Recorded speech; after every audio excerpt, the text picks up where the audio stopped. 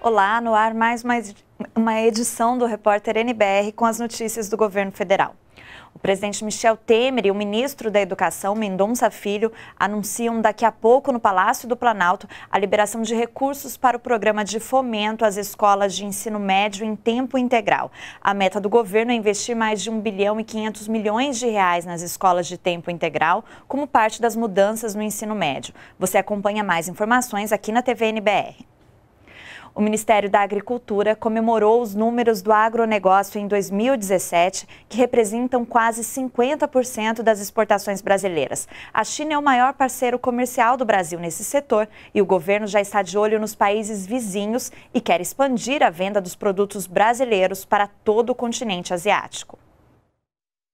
2017 foi um dos melhores anos para as exportações do agronegócio brasileiro.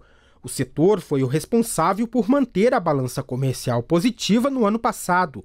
Na liderança das nossas vendas lá fora está a soja e seus derivados, como farelo e óleo, que somaram mais de 31 bilhões de dólares. Mas produtos como os de origem florestal, carnes e cereais também tiveram destaques. Nos números divulgados pelo ministro da Agricultura, fica clara a importância do agronegócio para a economia brasileira. É uma somatória de várias coisas que se faz, né? É conhecimento, é ciência, é tecnologia, é vontade do produtor. Embora os preços não sejam preços tão bons quanto foram no passado, o volume de produção faz com que o Brasil tenha, tenha esse, esse mercado.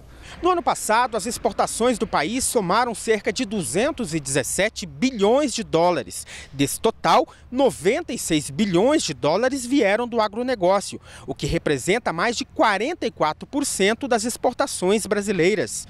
E para que o sucesso se mantenha, o governo sabe que precisa continuar a dar atenção especial a esse setor.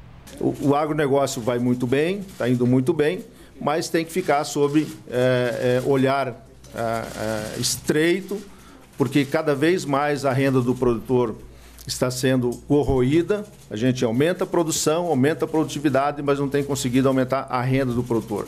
E isso é um sinal amarelo para um país que tem a agricultura como o seu grande sustentáculo nesses momentos de crise. Hoje, o Brasil domina quase 7% do mercado mundial do agronegócio. A meta é chegar a 10% até 2022, com faturamento de mais de um trilhão de dólares.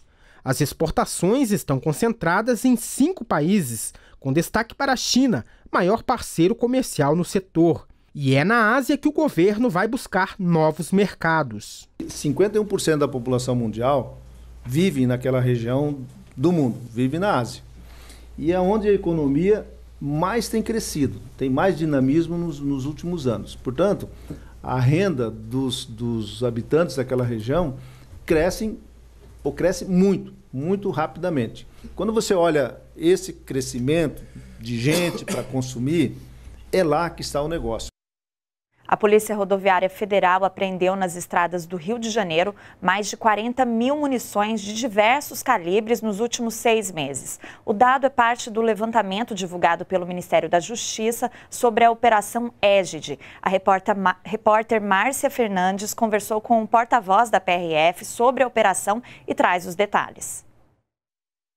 Para falar sobre essa operação, conversa agora com Diego Brandão, que é da Polícia Rodoviária Federal. Diego, quais ações foram tomadas nas estradas para que houvesse esse número de apreensões? A primeira ação é o reforço do policiamento. Nós enviamos 380 homens da Polícia Rodoviária Federal para o estado do Rio de Janeiro. Além disso, a gente reforçou também fronteiras e, e, rotas específicas da fronteira até o estado do Rio de Janeiro. Além disso, houve uma, um investimento em tecnologia e inteligência policial também para que a gente pudesse ter esse tipo de resultado. E essa ação faz parte de um plano maior em relação ao Rio de Janeiro, a segurança do Rio de Janeiro. Sim, fazemos parte de um plano maior, a Senasp coordena esse, esse, plano, onde a gente, dentro da PRF, denominamos como Operação ESD a nossa ação, especificamente pela, pelo funcionamento da operação, onde a gente tem cinturões de segurança da fronteira, divisas e centro metropolitano do Rio de Janeiro. E a Polícia Rodoviária é, pretende usar essas ações também para o combate da violência em outros estados? Sim, É um modelo adotado com sucesso em outras grandes operações que nós tivemos em centros metropolitanos, tal como Jogos Olímpicos, Copa do Mundo, e estamos é, de novo aplicando novamente com sucesso, com bons resultados, e a gente vai aplicar esse modelo de policiamento também em outras capitais.